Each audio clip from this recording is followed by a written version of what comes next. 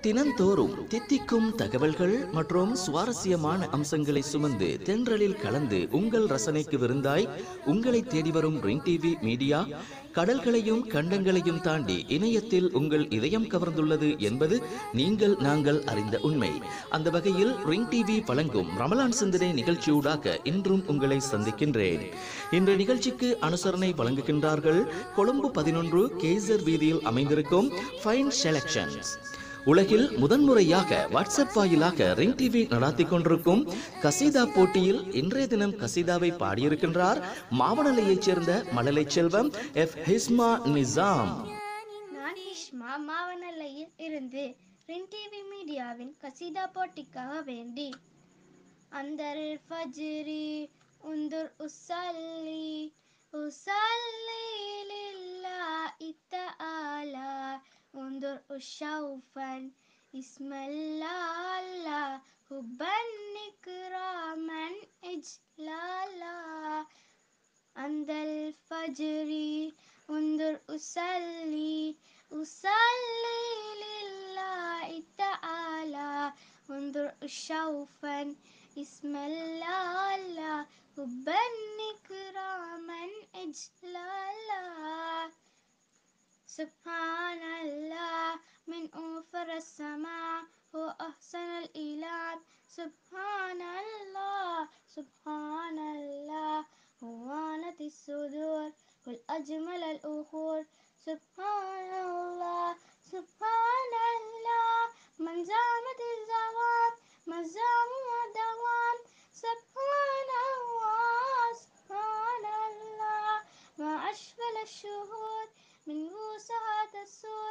Subhanallah, Allah, Ya Allah, Allah, Under Fajri, under Usalli, Usalli lillahi ta'ala. Under Ushawfan, Ismail.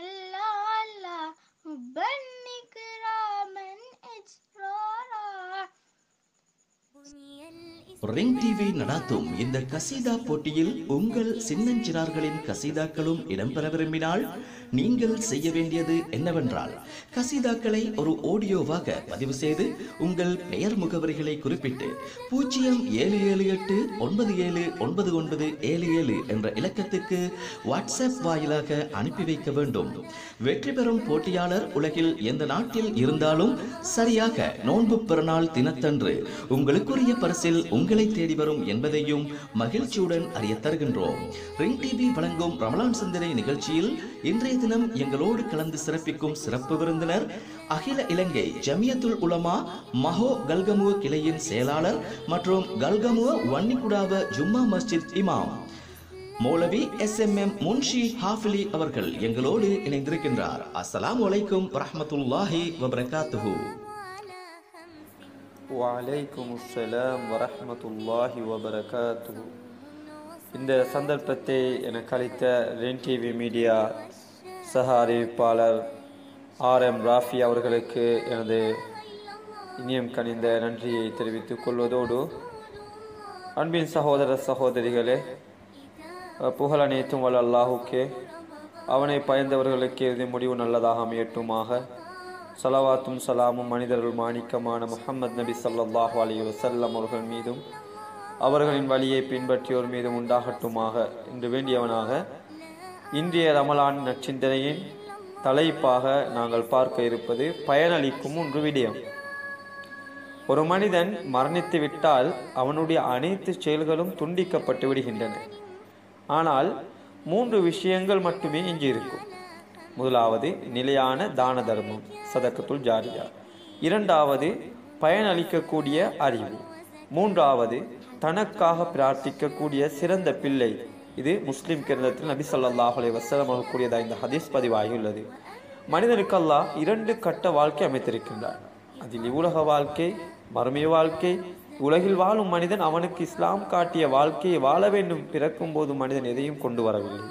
இறக்கும் போது மனிதன் எதையும் கொண்டு போவதும் இல்லை அவனை உலகில் செய்த நற்கருமங்களை தவிர மரணத்துக்கு முன்னால் மனிதன் பல நிலைமைகளில் ஆட்சி அதிகாரம் பட்டம் பதவி சொத்து சுகம் ஏழை பணக்காரன் கருப்பன் வெள்ளையன் உயர்ந்தவன் கட்டையன் நல்லவன் கெட்டவன் என்று பல கோணங்களில் மனித உலக வாழ்க்கை அமைத்துக் கொள்கிறான்.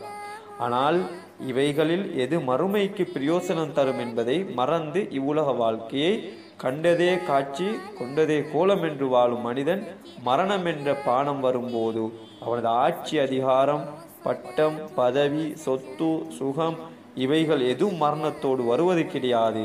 வெள்ளை ஆடை கஃன் உடையுடன் கப்ருக்குள் வைக்கப்படுகின்ற மனிதனுக்கு பிரயோசனமாக வரக்கூடிய மூன்று விஷயங்களை நபி சல்லாஹலை வசல்லம் அவர்கள் கூறிய நபிமொழி நமக்கு என்றைக்கும் எப்போதும் பாடமாக இருக்கின்றது. அந்த மூன்று விஷயங்களை இன்ஷா அல்லாஹ் நாம் ஒரு சிறிய விடயத்தின் மூலமாக நாம் கற்றுக்கொள்ளலாம் என்று அவளோடு சமர்ப்பிக்கின்றேன். முதலாவது நிலையான தர்மம். உண்மையில் நபி அவர்கள் கூறிய முதலாவது விஷயம் நிலையான தர்மம். ஒரு மனிதனுக்கு அல்லாஹ் செல்வத்தை கொடுக்கின்றான். அந்த செல்வம் அவனிடம் இருக்கும் காலமெல்லாம் அவைகளை முறையாக செயல்படுத்தவும் காட்டியிருக்கின்றான். காரணம் இன்று இருப்பவன் நாளைய தினம் வேறு ஒரு நிலைக்கு மாறலாம். இது அல்லாஹ்வின் நியதி இதே நிலையில் அவனுக்கு வறுமை கூட வரலாம். அவைகளுக்கும் இஸ்லாம் நமக்கு பொறுமை என்ற பாடத்தை பொக்கிஷமாக வழங்கியுள்ளது.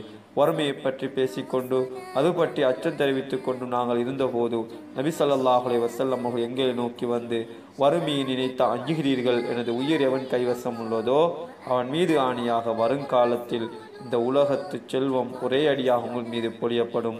உங்களின் உள்ளத்தை நல்வழியை விட்டும் ஒரே அடியாக திசை திருப்பிவிடக்கூடியதாகத்தான் அந்த செல்வம் அமையும் அமையும். அல்லாஹின் மீது ஆணையாக வெள்ளை வெள்ளேர் என்று பாதையில் நான் உங்களை விட்டுச் செல்கின்றேன். அதில் இரவும் பகலும் சமமானதாக இருக்கும் என்று நபி ஸல்லல்லாஹு வசல்லம் அவர்கள் கூறியதாக அபு தர்தார் அலி அல்லாஹ் அறிவிக்கின்றார்கள். அன்பிற்குரிய இஸ்லாமிய சகோதரர்களே அன்பின் நேர்களே உண்மையில் நாம் இந்த ரமலானுடைய மாதத்திலே நாம் அதிகமான நமக்கு இருக்கக்கூடிய இந்த செல்வங்களை தான தர்மங்கள் செய்து அல்லாஹுடத்தில் நாம் உயர்ந்த அந்தஸ்தை அடைய வேண்டும். அதுபோன்று இரண்டாவது பயனளிக்கக்கூடிய கல்வி. நபி அவர்கள் கூறிய இரண்டாவது விஷயம் பயன் தரும் கல்வியாகும். அல்லாஹ் மனிதனுக்கு பகுத்தறிவை கொடுத்து நல்லதையும் கெட்டதையும் பிரித்தறி காட்டியிருக்கின்றான். இதில் மனிதன் அறிய வேண்டிய கடமைகள் படிக்க வேண்டிய பாடங்கள் மிக ஏராளம் இருந்து கொண்டிருக்கின்றது. நன்மையை தீமையை பிரித்தறிவதற்கான உணர்வையும் அறிவையும் இறைவன் மனித இயல்புக்கு அருளியுள்ளான். நிச்சயமாக அல்லாஹ் எந்த சமுதாயத்தின் நிலையையும் மாற்றுவதில்லை. தங்களை தாங்களே அவர்கள் மாற்றிக்கொள்ளாதவரை. அல்லாஹ் ஒரு கூட்டத்தினருக்கு தீங்கை நாடினால் அவனை தடுப்பவர் எவரும் இல்லை. அவர்களுக்கு அவனை என்று எந்த உதவியாளரும் இல்லை என்று அல்லாஹ் குருவான் சொல்லுகின்றான். அன்புக்குரிய நேர்களே உண்மையில் நாம் இந்த அறிவை எந்த அளவு பயன்படுத்த வேண்டும்? இந்த அறிஞர்கள் எந்த அளவு கண்ணியப்படுத்த வேண்டும்? இந்த அறிவை நாம் எந்த அளவு தேடிச் செல்ல வேண்டும் என்பதை நாம் எல்லாம் உண்மையில் கடமைப்பட்டிருக்கின்றோம். ஏனென்றால் அல் குர்ஆனுடைய அறிவாக இருக்கலாம் ஏனைய அறிவாக இருக்கலாம்.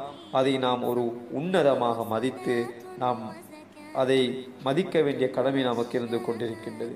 அதன் அடிப்படையில் அல் அறிவு இந்த உலகத்தை விட்டு நாம் பிரியக்கூடிய சந்தர்ப்பத்தில் மறுமையில் நம்முடன் சேர்ந்து வரக்கூடிய அறிவாக இருக்கின்றது. நாளை மறுமையில் இந்த ரம் குர்ஆன் நமக்காக வேண்டி அல்லாஹுடத்தில் சிபாரிசு செய்யக்கூடிய ஒரு உன்னதமான ஒரு சங்கை மிக்க குர்ஆனாக இருந்து கொண்டிருக்கின்றது. அன்புக்குரிய நேர்களே மூன்றாவது விடயமாக தான் அதாவது ரசூலுல்லாய் ஸல்லல்லாஹு அலைஹி வஸல்லம் அவர்கள் சொன்னார்கள் தனக்காக பிரார்த்திக்கக்கூடிய சிறந்த பிள்ளை என்று சொன்னார்கள். ஒரு முள்ள இந்த உலகத்தில் எத்தனையோ இன்பங்களை அருள்கொடைகளை அனுபவிக்கிறோம். அப்படிப்பட்ட இன்பங்களை மிக சிறந்ததாக இஸ்லாம் கூறுவது நல்லொழுக்கம் உள்ள மனைவியே. பிறப்பு முதல் இறப்பு வரை நாம் எத்தனையோ உறவுகளையும் நட்புகளையும் கடந்து வந்தாலும் மிக பூர்ணமான உறவு வாழ்க்கை துணியே. இந்த வாழ்க்கை சீராக அமையும் என்றால் நமக்கு பிறக்கின்ற குழந்தையும் சீராக அமையும் என்பதை வாழ்க்கையின் முதல் வேறாகும். இவ்வுலகத்தில் பிறக்கும் இந்த குழந்தையும் கெட்ட குழந்தையாக பிறப்பதில்லை. எல்லா குழந்தைகளும் நல்ல குழந்தைகளாகத்தான் பிறக்கின்றன. அவர்களது பெற்றோர்களின் வளர்ப்பு தான் அவர்களது நல்லவனாக அல்லது கெட்டவனாக மாற்றிவிடுகின்றது என்பதை புகாரின் ஒரு ஹதீஸ் நமக்கு அறிவித்து தந்து கொண்டிருக்கின்றது. எனவே நல்ல குழந்தைகளை உருவாக்குவதற்கான முழு முயற்சிகளை மேற்கொள்வது பெற்றோரின் கடமையாகும். மனிதனுக்கு வழிகாட்டியாக வந்த இறை தூதர் தம் குழந்தைகளை மார்க்கப்பட்டுள்ள குழந்தைகளாக உருவாக்குவதற்கு தங்கள் ஆன முயற்சியை செய்துள்ளார் என்பதை திருக்குருவான் தெளிவுபடுத்துகின்றது. என் மக்களே அல்லாஹ் உங்களுக்கு மார்க்கத்தையும் தெரிவு செய்துள்ளான். முஸ்லிம்களாகவே தவிர நீங்கள் மரணிக்க கூடாது என்று இப்ராஹிமும் யாக்கூபும் தமது பிள்ளைகளுக்கு வலியுறுத்தின என்று அல் குர்வானிலே இரண்டாவது வருஷம் நூற்றி முப்பத்தி ரெண்டாவது அத்தியாயத்தில் சொல்லப்பட்டு கொண்டிருக்கின்றது. அன்புக்குரிய நேர்கள் இஸ்லாமிய மார்க்கத்தை நாம் குழந்தைகளை எப்படி பராமரிக்க வேண்டும்? எப்படி வார்த்தெடுக்க வேண்டும்? எப்படி கல்வி கற்க பயன்படுத்த வேண்டும்? எப்படி உபதேசம் செய்ய வேண்டும்? எப்போது அடிக்க வேண்டும் போன்ற அனைத்திற்கும் நல்ல வழிகாட்டுகள் அன்புக்குரிய நேர்களே எனவே நாம் நம்முடைய குழந்தைகளையும் நாம் எந்த அளவு தூரத்துக்கு அவர்கள் நல்ல முறையில் வளர்க்கின்றோமோ நாளை நாம் மரணித்தது போதுதான் மரணத்துக்கு பின்னால் தான் அவர்கள் நமக்காக வேண்டிய அவர்கள் அல்லாஹ்விடத்தில் துவா செய்யக்கூடிய குழந்தைகளாக நாம் மாற்ற வேண்டும்.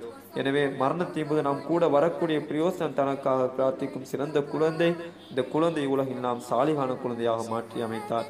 இஷா அல்லாஹ் இந்த பாக்கியத்தை நாம் அடைந்து கொள்வோம் என்பது சந்தேகம் இல்லை.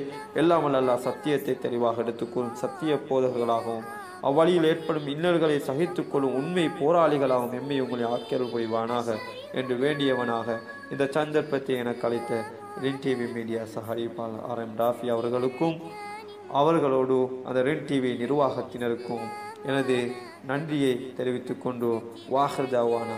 ரபில் ஆலமீன். அஸ்லாம் வலைக்கும் வரமத்துல்லாஹி வபரகாத்து உலகளாவிய ரிங் டிவி நேயர்களுக்காக இன்றைய தினம் ரமலான் சிந்தனையை வழங்கி வைத்த சிறப்பு விருந்தினர் அகில இலங்கை ஜமியத்துல் உலமா மஹோ கல்கமுவ கிளையின் செயலாளர் மற்றும் கல்கமுவ வன்னிகுடாவ ஜும்மா மஸ்ஜித் இமாம் மௌலவி S M M Munshi Hafili அவர்களுக்கு ரிங் டிவி மீடியா சார்பில் எங்களது மனமார்ந்த நன்றிகளை தெரிவித்துக் கொள்கின்றோம். அதேபோல் இன்றைய நிகழ்ச்சிக்கு அனுசரணை வழங்கியிருந்தார்கள் கொழும்பு பதினொன்று கேசர் வீதியில் அமைந்திருக்கும் ஃபைன் செலக்ஷன்ஸ் உங்கள் குழந்தைகளுக்கு தேவையான அனைத்து விதமான விளையாட்டுப் பொருட்களையும் மொத்தமாகவும் சில்லறையாகவும் பெற்றுக்கொள்ள நீங்கள் நாடுங்கள். ஃபைன் செலக்ஷன்ஸ் கேசர் வீதி கொழும்பு பதினொன்று. மீண்டும் நாளைய தினம் ரிங் டிவி வழங்கும் ரமலான் சிந்தனை நிகழ்ச்சியூடாக உங்களை சந்திக்கும் வரை விடைபெறும் நான் உங்கள் அறிவிப்பாளர் ஆர். முகமது ராஃபி. நன்றி வசலாம்.